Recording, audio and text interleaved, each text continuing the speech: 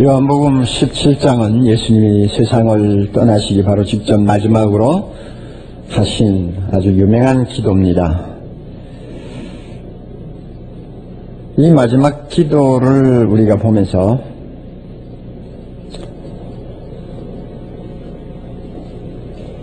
두 가지 사실을 먼저 우리가 깨달을 수가 있습니다. 하나는 제자들을 세상에 두고 떠나시면서 기도하신 예수님이라면 지금도 하나님 우편에서 기도하고 계실 것이다 하는 것입니다. 그는 우리의 대제사장이 되십니다.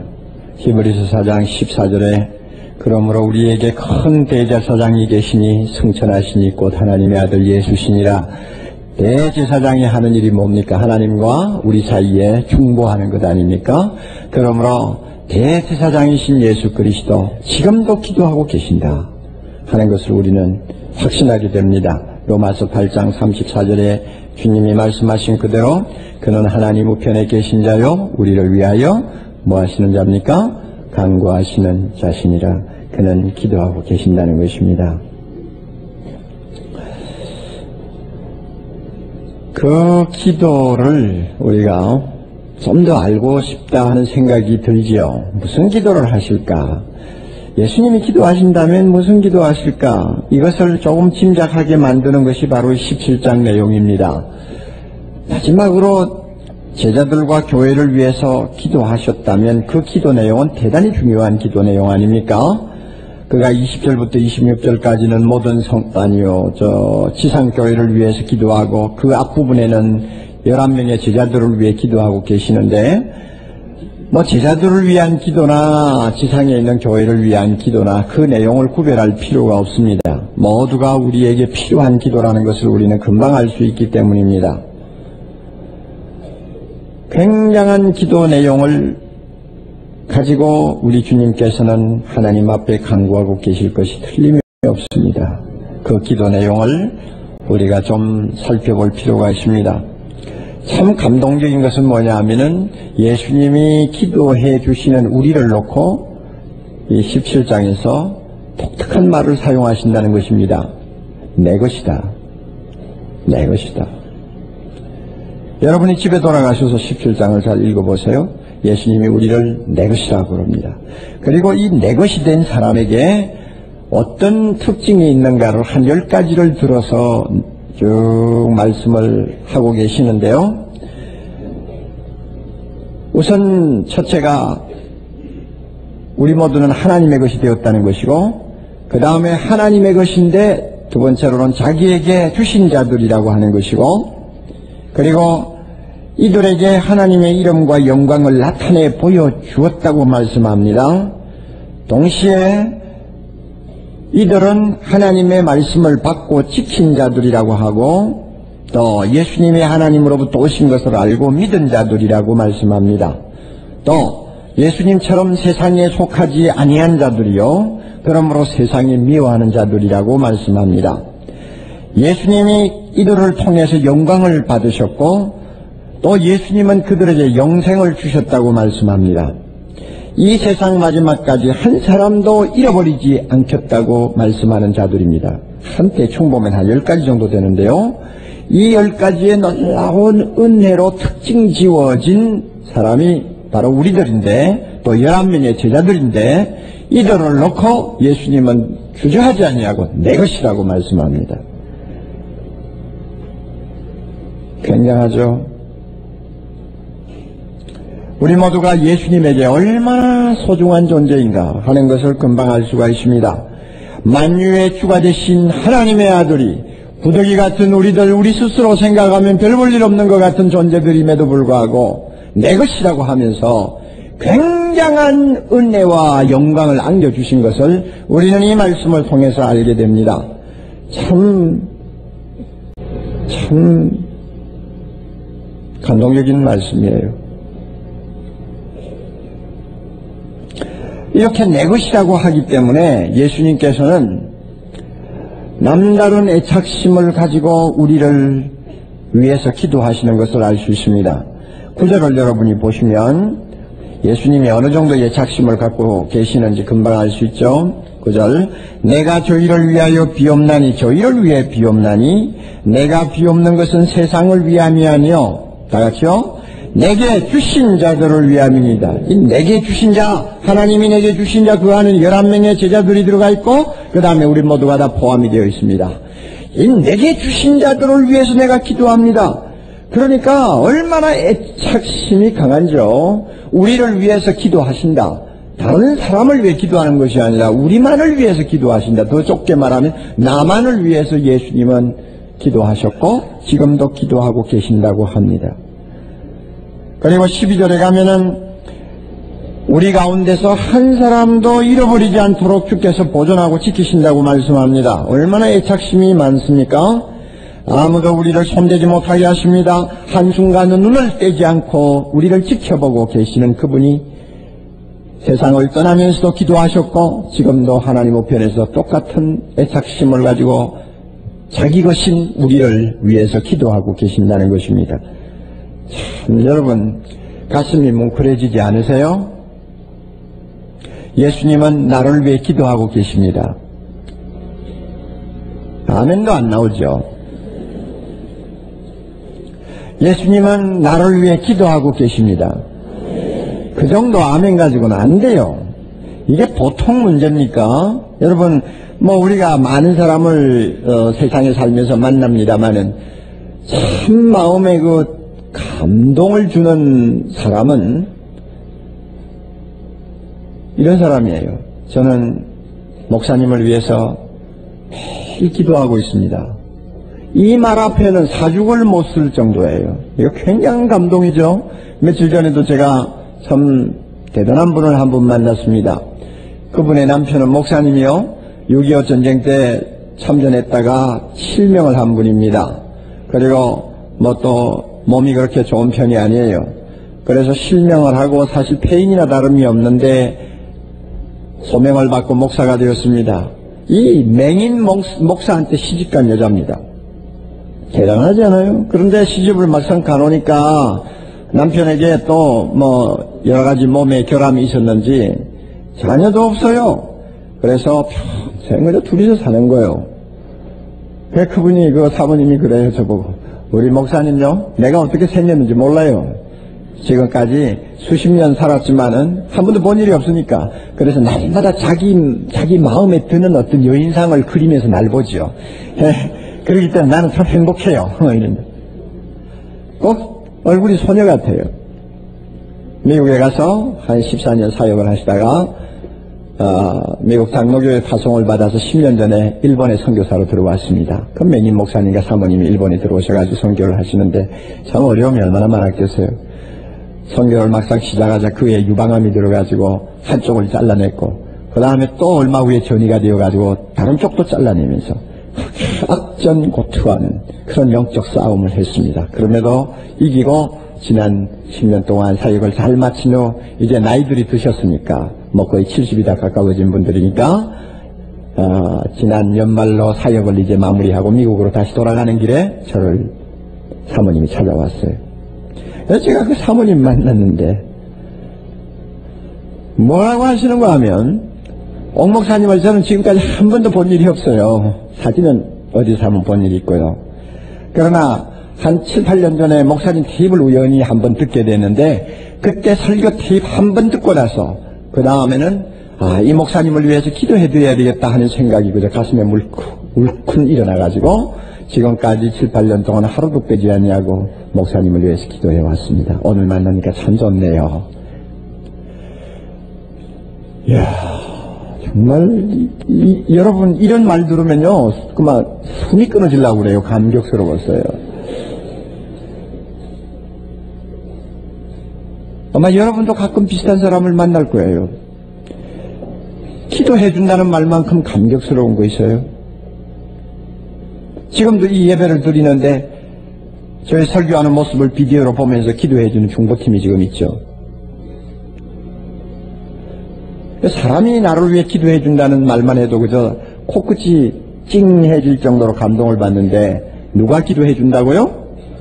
하나님의 아들 예수 그리스도가 하나님 우편에서 우리를 위해서 기도해 주시고 나를 위해 기도해 주시는데 얼마나 애착심을 가지고 기도하는지 내 것이다. 아무도 손대지 마. 내가 기도한다. 내 것이야. 이러면서 기도하고 계신다니 이게 어떻게 우리 마음에 감동을 주지 않겠습니까? 그런데 여러분 얼굴 보니까 별로네요. 성령께서 우리 마음을 감동하시면 우리가 예수님 기도하는 모습을 뭐 상상을 할 수가 없죠. 어떤 식으로 기도하고 계시는지. 그리고 눈으로 한 번도 본 일이 없지만 나 같은 것을 위해 기도하신다. 하는 것을 성령의 감동으로 깨닫게 되면요. 그거 하나만으로 우리 가슴은 가득히 찹니다. 그 사실 하나만 받아들여도요. 세상에 겁나는 것이 없습니다. 예수님이 나를 왜 기도하신다 나는 예수님의 것이다 하는 사실만 확실하게 믿고 이 세상을 산다면 어떤 고통 앞에서도 우리는 이깁니다. 그만큼 놀라운 은혜예요. 왜 우리 모습이 초라해지느냐? 왜 우리가 고독을 느끼느냐? 왜 우리가 어떤 조그마한 일을 앞에 놓고 그야말로 사시나무 떨듯 떨듯이 떠느냐? 그 이유는 주님 주님이 하나님 우편에서 나 같은 것을 위해서 어떻게 기도하고 계시는가를 잘 모르기 때문이요. 또 서로 안다고 해도 그것을 마음에 받아들일 정도로 확실하게 믿지 않기 때문에 그런 것입니다. 여러분은 어떤, 어떤 마음가짐을 가지고 이 말씀을 받고 있습니까? 다시 한번 냉랭하게 생각해 보세요. 믿음을 가지고 받으면 여러분 삽니다. 믿음을 가지지 않고 그냥 적당히 들으면, 적당히 들으면 아무런 은혜도 안 되고 힘도 안 될 것입니다.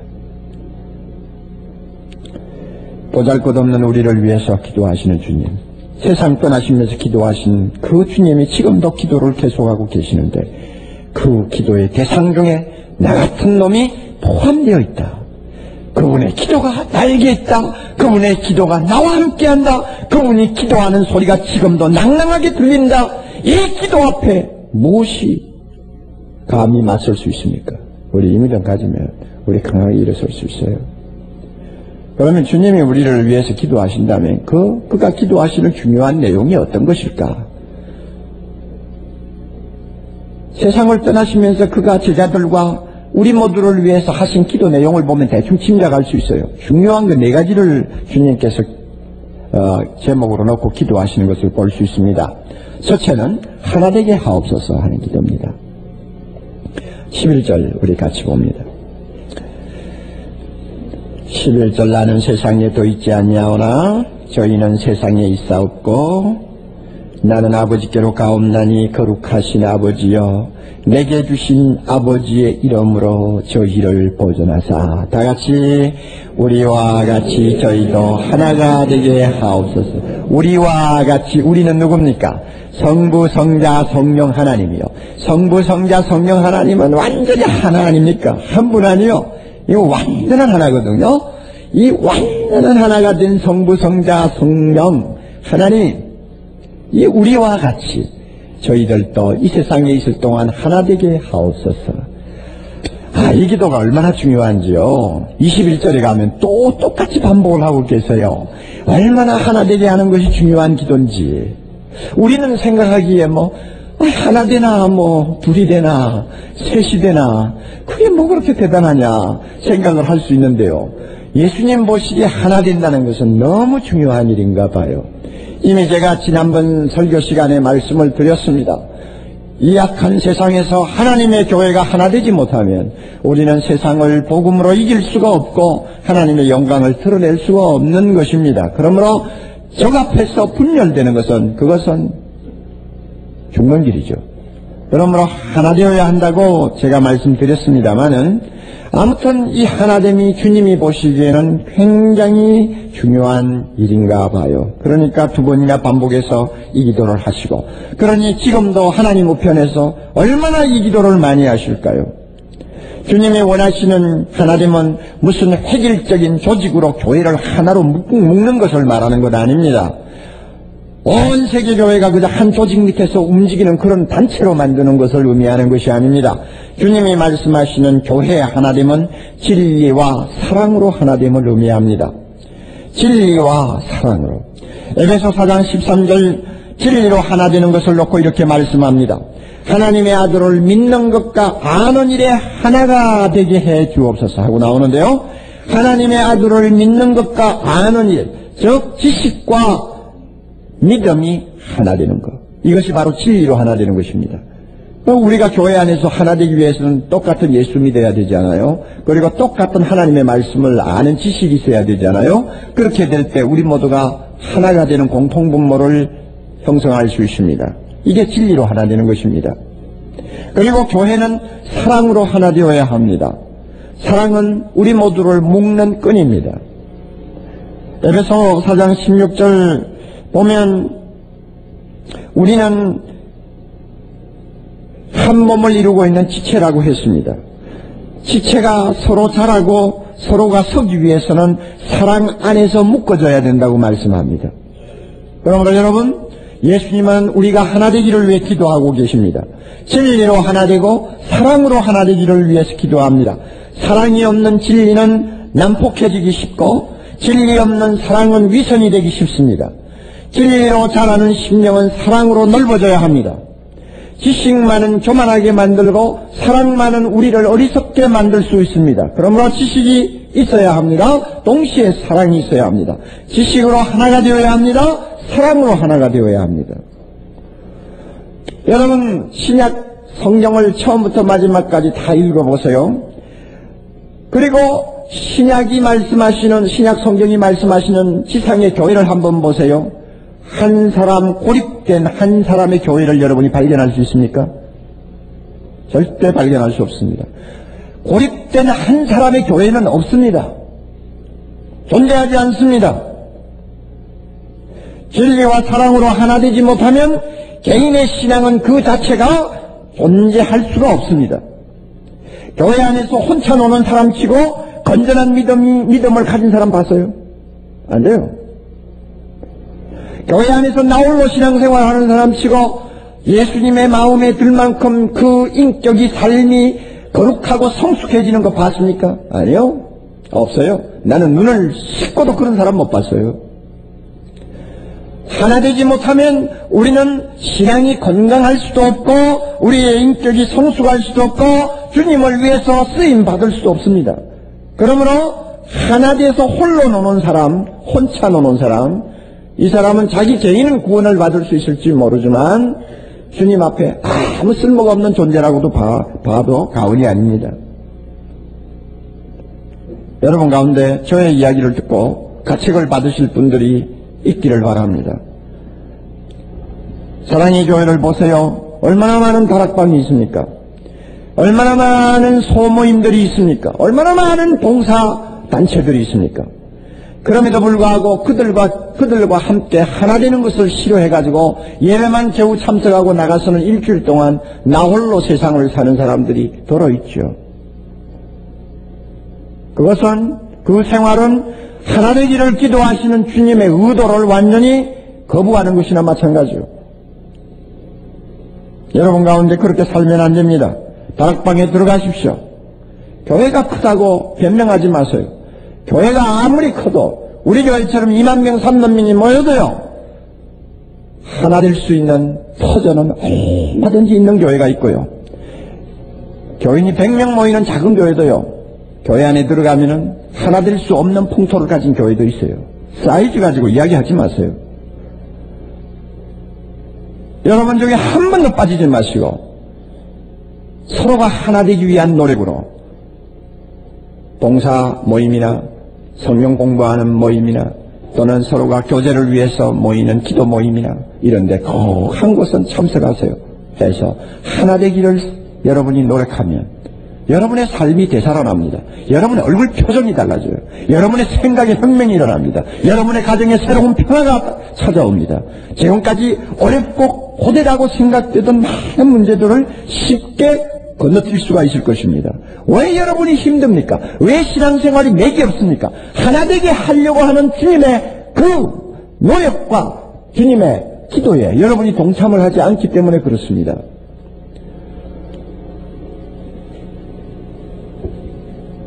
하와는 혼자 있다가 뱀의 유혹을 받았습니다. 그 당시에 인구는 두 사람이에요. 그러니까 아담과 하와 둘 아니에요, 둘. 인구는 둘이요. 그러므로 이 두 사람은 헤어지면 안 돼요. 어디를 가도 똑같이 있어야 돼요. 그런데 그날 어떻게 뭐 서로 기분이 안 좋았는지 뭐 서로가 약간 혼자 있기를 좋아해서 협의차, 합의차 잠깐 뭐 나누어졌는지 모르지만 하와 혼자 있다가 뱀한테 유혹받아서 그 아주머니 때문에 오늘 우리가 얼마나 고생을 많이 합니까? 한번 생각을 해봐요. 신앙생활 혼자 하면은요, 당해요, 당해요. 아무리 제가 뭐 기도 많이 한데도 소용없어요. 혼자 하면 당합니다. 그래서 주님께서는 우리가 하나 되기를 계속 기도하고 계십니다. 불편한 악에 빠지지 않게 하옵소서 하는 기도를 주님이 하고 계십니다. 15절을 우리가 보면요. 이런 말씀으로 기도하시죠. 내가 비옵는 것은 저희를 세상에 데려가기를 위함이 아니요 세상에 두고 가지 않습니까? 예수님이 우리를 세상에 두고 가셨고 제자들을 두고 가셨어요. 그러므로 이제 중요한 게 뭡니까? 오직 뭐예요? 악에 빠지지 않게 보존하시기를 위함입니다. 그러니까 아버지여 이들이 악에 빠지지 않게 보존해 주옵소서 하는 기도입니다. 세상 떠나시면서 제자들을 세상에 남겨놓고 주님이 이 기도 하고 가셨다면 오늘 세상에 남아있는 우리들을 위해서 주님이 얼마나 이 기도 많이 하시겠어요. 여러분 우리 모두가 아는 바와 같이 세상은 악한 데입니다. 세상은 악한 세력이 여전히 건재하고 끊임없이 유혹하고 공격합니다. 우리는 세상에 속하지 않았습니다. 그러므로 이 악한 세상은 우리를 표적으로 삼아가지고 24시간 쉬지 않고 공격합니다. 우리를 유혹해서 죄에 빠지게 합니다.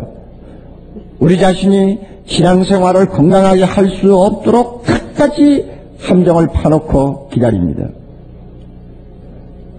그러므로 우리가 이 악에 빠지면 안 돼요. 정신을 바짝 차리고 이 악을 우리는 피해야 되고 이 악을 우리는 대적해서 막아야 합니다. 악이라고 하는 것은 단순히 뭐 죄 짓는 거, 뭐 잘못된 것으로 유혹받는 거 이것만 악이 아니에요.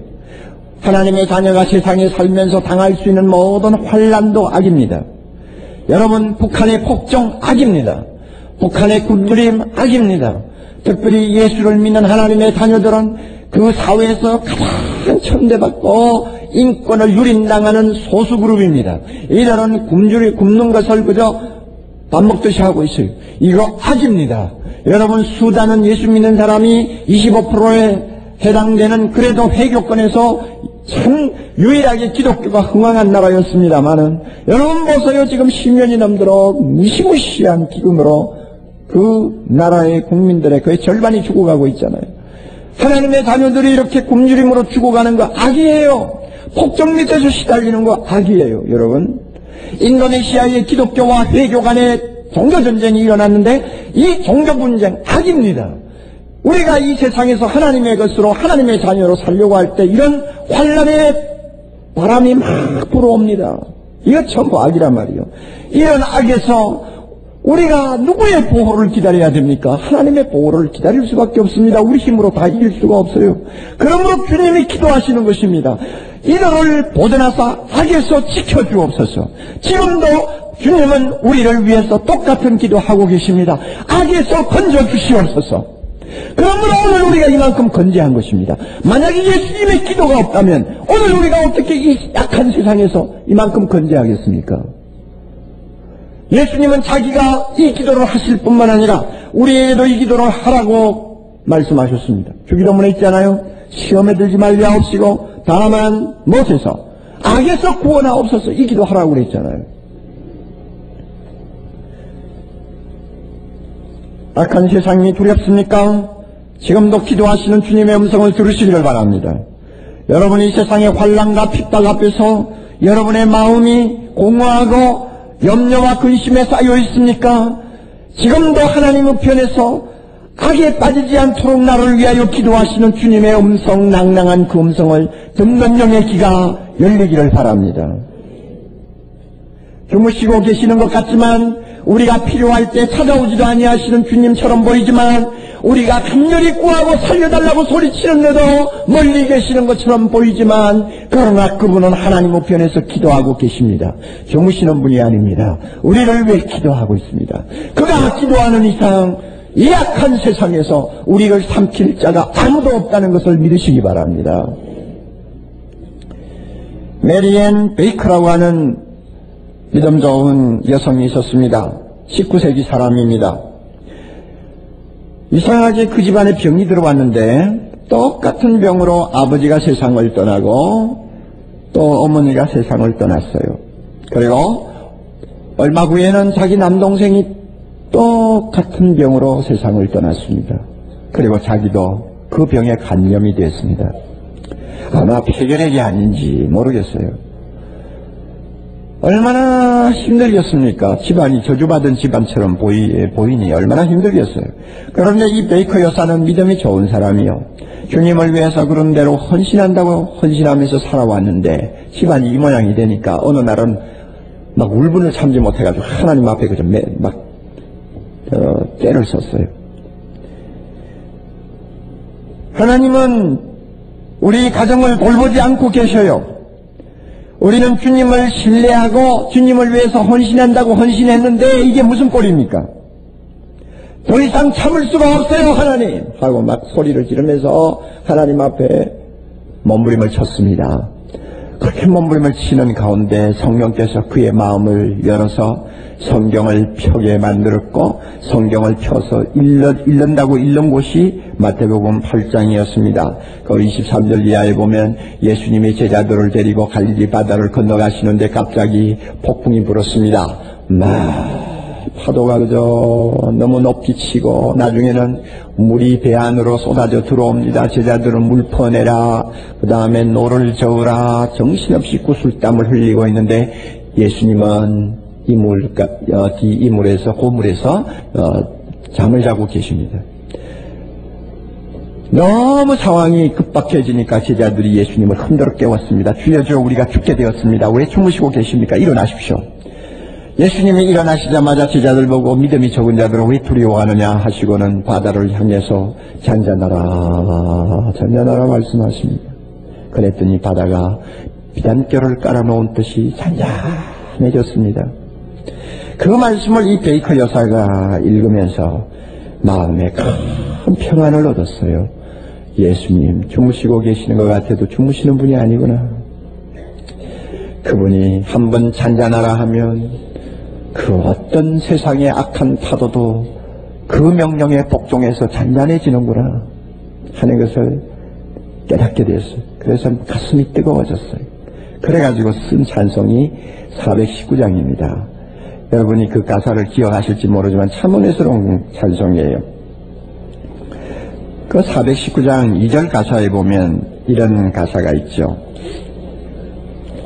구주여 떨리는 내 마음 저 풍랑과 같아서 늘 불안에 쌓여서 산이 날 붙들어 주소서 세상의 풍파가 나를 삼키려 합니다.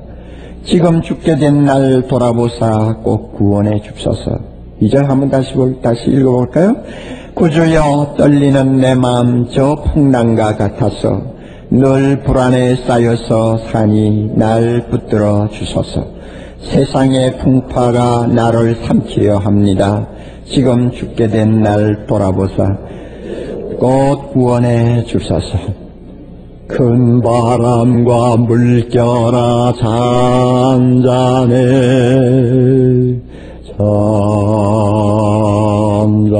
잔잔해 사납게 뛰노는 파도나 저 흉악한 마귀나 아무것도 주 편안히 잠들어 누신 배 뒤엎어 놓을 능력이 없도다. 주 예수 풍파를 꾸짖어 잔잔해 잔잔해 주 예수 풍파를 꾸짖어 잔잔하라.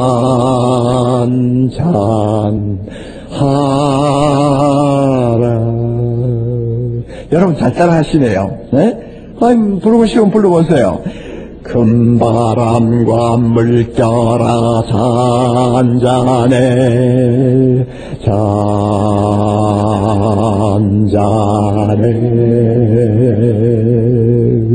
사납게 뛰노는 파도나 저 흉악한 말이나 아무것도 주 편안히 잠들어 누심에 뒤엎어놓을 능력이 없도다 주 예수 풍파를 꾸짖어 주여 잔잔해 잔잔해 주 예수 풍파를 꾸짖어 잔잔하라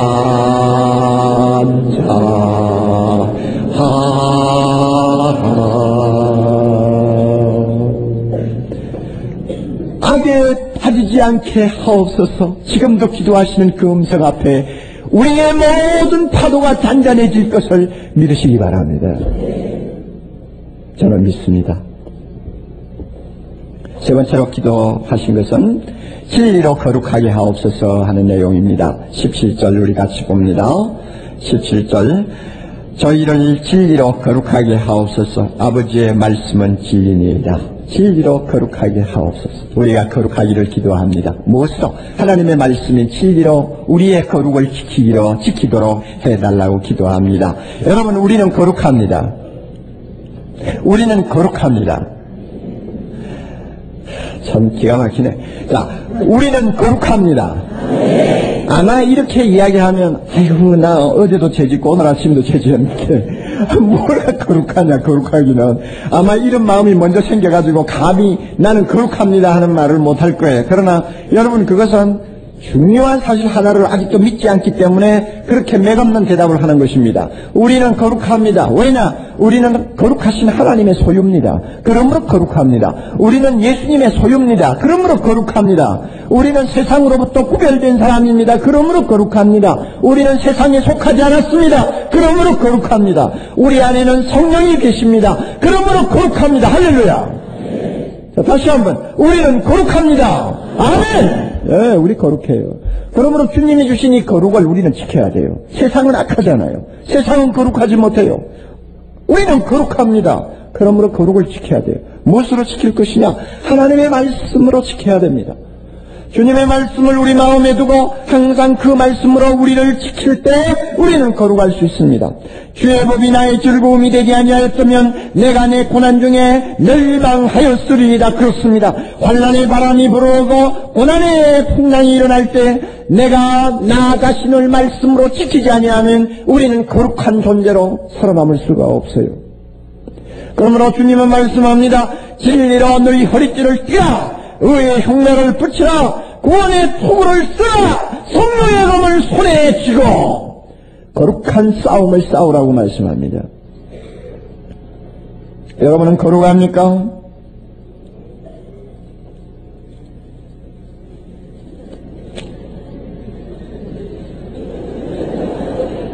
대답하기 싫으면 안 하면 돼요.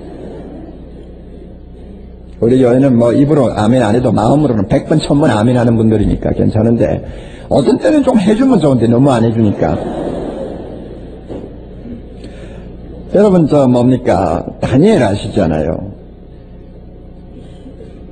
바벨론에 불모로 잡혀갔습니다. 10대 청소년이.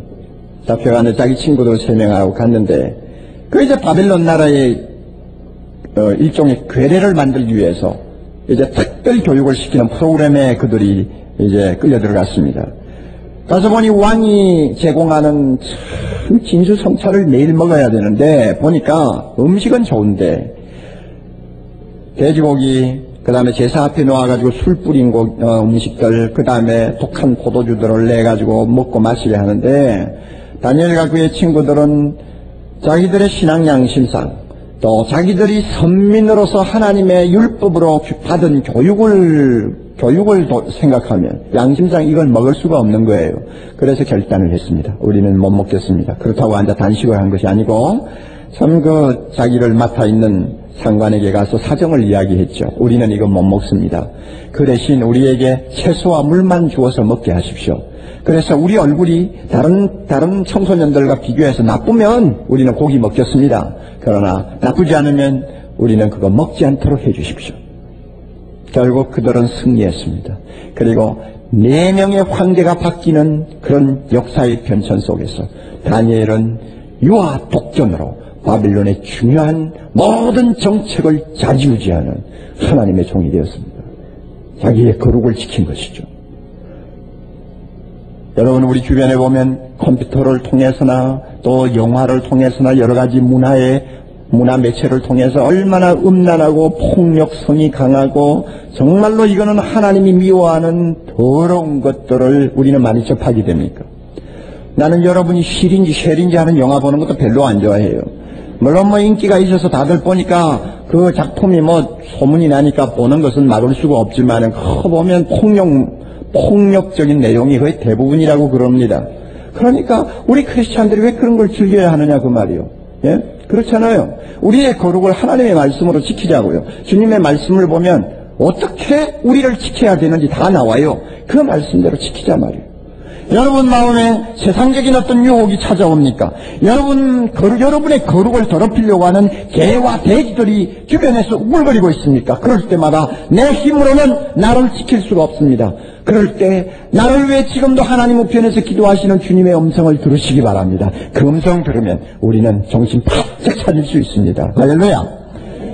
끝으로 주님은 자기의 영광에 우리 모두가 참여하게 해달라고 기도합니다. 24절에 나오죠. 아버지여 내게 주신 자도 나 있는 곳에 나와 함께 있어 아버지께서 창세전부터 나를 사랑하심으로 내게 주신 나의 영광을 저희로 보게 하시기를 원하나이다. 여러분 예수님이 지금 누리고 계시는 그 영광은 이거는 도무지 우리가 상상할 수 없는 세계의, 여- 세계의 차원입니다. 너무너무 놀라운 일인데요. 한번 여러분 보세요. 베드로와 요한과 야고보가 예수님을 따라서 산으로 올라갔다가 갑자기 예수님의 모습이 하나님의 모습으로 바뀌었습니다. 진짜 하나님의 모습으로 바뀌었어요. 얼마나 그 모습이 영광스러운지 그것을 보자마자 제자들이 어떻게 됐습니까?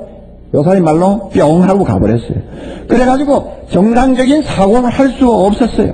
그 예수님의 모습을 보는 순간 얼마나 정신이 돌아버렸는지요. 주여, 우리가 그만 여기 삽시다. 내려가지 말고.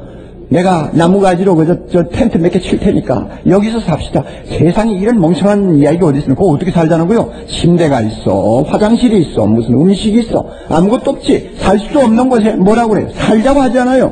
그만큼 하나님의 영광은 우리를 완전히 황홀하게 만드는 것입니다. 여러분, 주님이 누리는 그 영광이 우리 앞에 있습니다. 사실로 우리에게 있어서 가장 좋은 날은 아직 오지 않았습니다. 우리에게 있어서 가장 최상의 행복은 아직 도달하지 않았습니다. 우리 앞에 있습니다. 뒤에 지나간 것보다도 우리 앞에 있는 것은 굉장히 기분 좋게 만듭니다. 왜냐하면은 결국은 우리가 그 영광을 우리가 그 영광을 누리게 될 것이기 때문입니다. 주님은 자기가 누리는 그 영광을 우리가 함께 누리도록 하기 위해서 기도하고 계십니다. 할렐루야. 네. 제가 이 17장을 이렇게 보면서 네 가지 기도를 가지고 주님이 오늘도 기도하고 계시는구나 하고 생각을 하면 마치 새벽마다 교회 나와서 자식들을 위해서 기도하는 어머니들이 생각이 나세요. 여러분, 어머니들이 자식에 대한 애착이 얼마나 대단합니까? 새벽에 교회 나오면요, 담임 목사를 위해서도 기도해야죠. 그러나 그 기도는 전부 서론입니다. 그리고 교회를 위해서 기도하는 것도 다 서론입니다. 막 한 5분 안에 다 때워요. 다 때우고 나서 그 다음에 본론은 누굽니까? 우리 집에 처리를 주여 하시지요. 아, 이 아들 뭐 어쩌고 하고 그때부터 기도가 시작하면 뭐 한 시간도 가고 두 시간도 가는 거예요. 우리 어머니도 그런 사람 중에 하나입니다. 그래서 새벽에 나오시면 뭐 두 시간 앉아 기도하시죠. 그러니 그 기도 빤하죠, 빤해요. 뭐 전부 자녀들을 위한 기도입니다. 뭐 60년 이상을 그렇게 기도해 왔으니 이제 그 병을 어떻게 고치겠습니까? 예, 지금도 기도하고 계시죠. 그래 밥상에서 우리 식탁에 앉아가지고 식구들 돌아가다가 어떤 데는 어머니의 기도를 시키지 않습니까? 그러면요 눈만 감으면은 식탁에서 기도하시면 뭐 음식을 놓고 감사하다는 기도를 해야지. 식탁에 앉아서 눈을 감고 나서는 이제 큰아들부터 시작해서 줄줄이, 줄줄이 엮어 나가기 시작하는 거예요. 그러니까 밥다 식죠, 국다 식죠, 그럼 뭐, 시간은 바쁘지, 얼마나, 시- 어떤 데는 신경질 납니까? 그러니까, 그러니까, 우리 집에 있는 막내놈은, 할머니한테 기도 좀 제발 시키지 말라고. 못 살겠다고. 그래서 이제 한번 어머니에게 주의를 했어요. 어머니 식사, 식사, 식사 기도할 때는 식사 기도만 하는 거예요. 아, 그러나 눈 감으면 기도가 나오는데 어떻게 하느냐. 그러나 그런 주- 조심을 하셔야죠. 그래 놓고 한 번 다음에 또 한 번 시켜봤더니 여전히 여상무이야. 똑같아요. 똑같아. 그래서 요즘 안 시켜요. 아예 그냥. 자, 그런데 이게 엄마라고요. 엄마. 자식에 대한 애착이 얼마나 강한지요. 막 눈만 감으면 자식 기도가 나오게 돼 있어요. 이런 어머니를 보면서 나는 하나님 우편에서 우리를 위해 기도하신 예수님이 생각나요. 내 것이라고 그랬잖아요. 우리를 내 것이라고 했으니까 얼마나 집요하게 기도하시겠어요. 여러분, 힘을 내세요. 예수님의 기도가 우리 배후에 있습니다. 할렐루야. 예수님의 기도가 우리를 뒤에서 보호하고 있습니다. 이 기도가 있는 이상 우리 우리를 세상에서 당할 자가 없습니다. 여러분 절대로 낭망하지 마세요. 세상을 두려워하지 마세요. 비겁하게 여러분 인생을 살지 마세요. 하늘에 계시는 우리 주님이 우리를 위해 기도하고 계십니다. 할렐루야. 다 같이 기도하십시다.